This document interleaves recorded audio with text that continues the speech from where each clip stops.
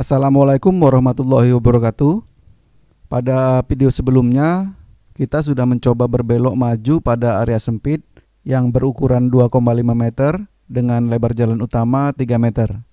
Kali ini kita akan coba berbelok mundur untuk masuk ke garasi atau area parkir yang sempit dengan lebar 2 meter dan lebar jalan utama kita buat tetap 3 meter.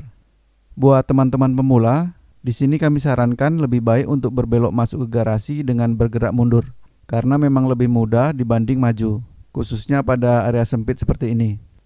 Nantinya kita akan mundur dan berbelok ke kiri masuk ke garasi. Untuk langkah-langkahnya, jadi pada saat mendekati pintu garasi, kita beri space kiri kira-kira 1 meter. Posisikan mobil melewati garasi hingga kira-kira 2 meter dari sudut pintunya. Kurang lebih posisinya seperti ini. Saat parkir pada area datar, sebenarnya kita hanya perlu buka tutup rem dengan menggunakan teknik setengah kopling. Maka mobil akan bergerak maju atau mundur. Namun jika jalannya sedikit berlubang atau tidak rata, maka kita juga perlu menambahkan gas sedikit.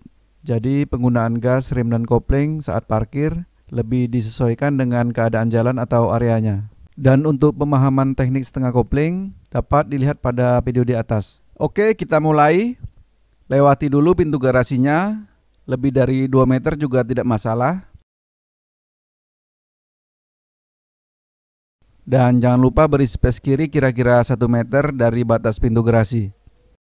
Kemudian mundur dan mulai putar setir ke kiri secara bertahap dan perlahan saja. Intinya kita harus dapat menempatkan roda kiri belakang tepat dan rapat pada sudut pintu garasi. Karena itu kita harus memperhatikan spion kiri. Balas ke kanan sedikit jika terlihat bagian kiri belakang mobil akan membentur sudut garasi. Sesekali perhatikan juga bagian kanan depan, pastikan aman dan tidak melewati batas jalan.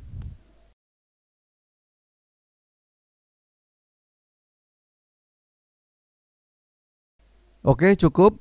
Sekarang putar setir ke kanan full dan karena areanya sempit, maka mau tidak mau kita harus memutar setir di mana mobil dalam keadaan berhenti. Kemudian maju perlahan, gunakan feeling untuk menaksir jarak atau posisi antara bumper depan dan batas jalan. Selanjutnya putar setir ke kiri full. Sebelum mundur, perhatikan spion kiri dulu dan pastikan aman. Lalu mundur perlahan sambil memperhatikan spion kanan. Jika aman, maka terus mundur perlahan. Perhatikan spion kiri dan kanan. Begitu posisi mobil masih serong seperti ini, maka putar setir ke kanan dua kali untuk meluruskan posisi mobil. Mundur perlahan sambil perhatikan spion atau kamera parkir jika ada untuk melihat batas belakang. Dan untuk keluar, karena posisi kita sudah sedikit rapat ke kanan, kita bisa maju lurus dulu atau bila perlu sambil arahkan mobil ke kanan sedikit. Begitu sudut pintu garasi sejajar dengan bahu kita, lalu putar setir ke kiri full. Perhatikan sisi kiri dan sudut kanan depan dan pastikan aman.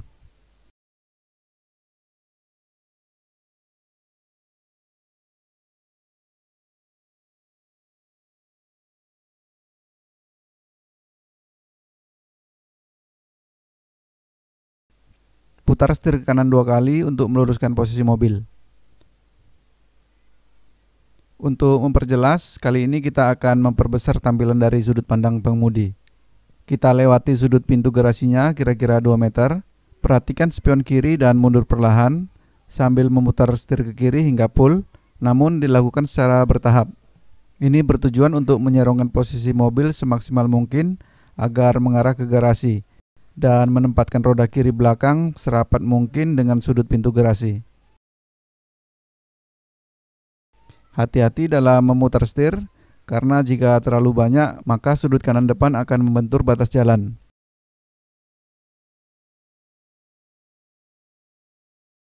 Dan jika sudut kiri terlalu rapat dengan roda, sebaiknya kita lewatkan sedikit agar lebih aman saat mundur nanti. Tahan posisi mobil. Memang sangat tidak dianjurkan bila memutar setir dalam keadaan mobil berhenti. Namun pada area sempit begini, terpaksa hal itu harus kita abaikan dulu. Malah terkadang harus kita gunakan rem untuk menahan mobil pada jalan yang sedikit menanjak atau menurun. Oke, kita ke kanan pull dan maju perlahan. Kemudian ke kiri pull, perhatikan spion kiri dan kanan sambil terus mundur perlahan.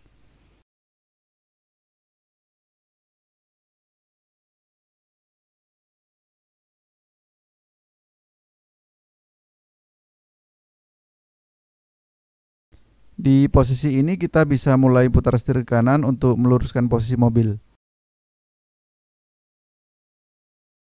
Mundur perlahan sambil kita koreksi lagi dengan memperhatikan sisi kiri dan kanan melalui spion.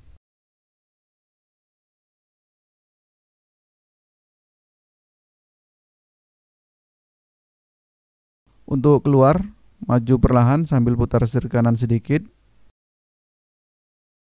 Begitu bahu atau setengah bodi mobil kita sejajar dengan pintu, maka putar setir ke kiri pul. Ada dua bagian yang perlu kita perhatikan saat keluar dari garasi sempit, yaitu sudut kanan depan dan sisi kiri mobil. Untuk sudut kanan depan harus kita gunakan feeling, dan untuk sisi kiri mobil dapat kita lihat dari spion. Putar setir ke kanan dua kali untuk meluruskan posisi mobil. Kita ulang lagi. Maju dan lewati sudut pintu garasi kira-kira 2 meter. Perhatikan spion kiri. Lalu mundur sambil mulai memutar setir ke kiri untuk mengarahkan roda kiri belakang rapat dengan sudut pintu garasi.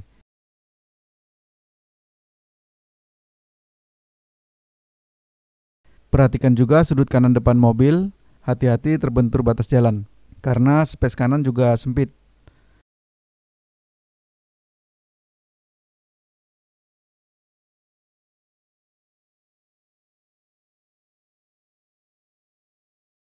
Oke, cukup.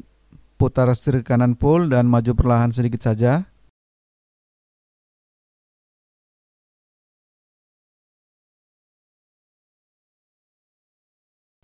Balas ke kiri full dan mundur perlahan. Perhatikan bagian belakang kiri dan kanan melalui spion.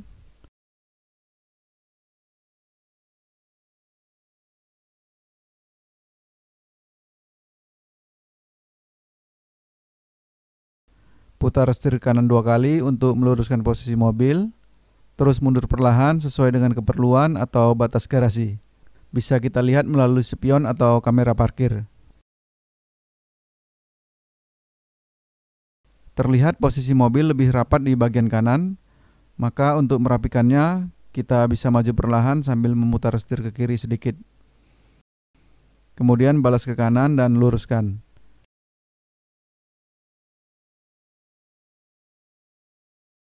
Lalu mundur perlahan.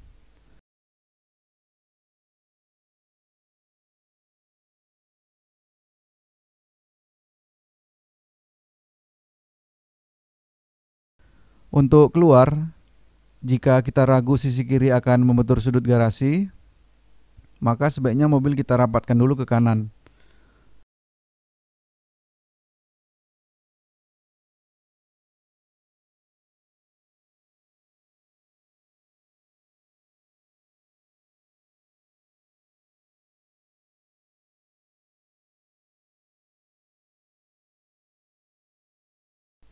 Baru kemudian maju dan begitu setengah bodi mobil sejajar dengan pintu garasi, segera putar setir ke kiri pul.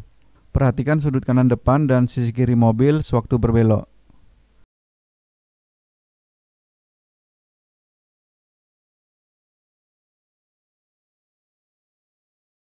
Putar setir kanan dua kali untuk meluruskan posisi mobil.